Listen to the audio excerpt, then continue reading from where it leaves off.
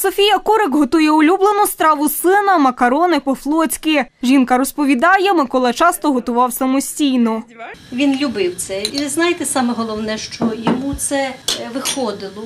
Він коли готував, воно було смачно. Незважаючи що, чи це макарони, там суп з домашньою лепшею йому подобалося, він її робив.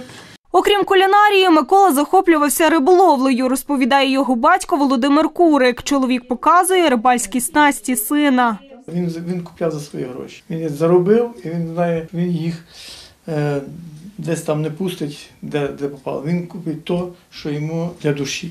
Коли Миколі виповнилося 10, батьки віддали сина до художньої школи. Це один із малюнків хлопця. Його викладач Ігор Зілінко розповідає, Микола був старанним учнем.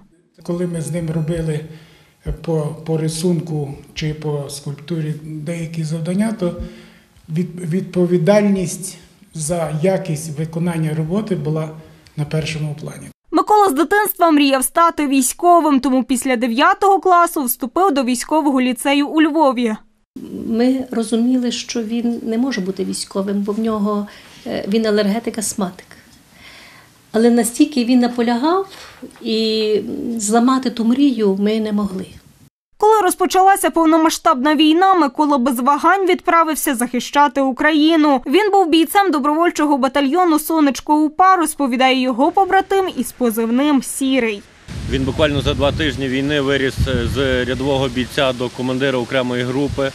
Вони виконували досить складні місії. Навіть останній день, коли е, він ще був живий, е, він до мене підійшов і спитав: Сірий, це шлях воїна? Я кажу, так, братику, це шлях воїна. Наприкінці березня на Київщині Микола загинув під час виконання бойового завдання. Він йшов на війну, мій син найдорожчий. А я проважала і серце шималось. Воно відчувало, воно відчувало. У бою тім пекельнім і несамовитім загинув мій син, найдорожчий у світі. Наш син загинув, захищаючи Україну.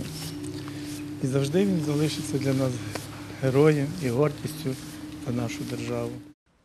Мирослава Західна, Андрій Прокопів. Новини на Суспільному. Тернопіль.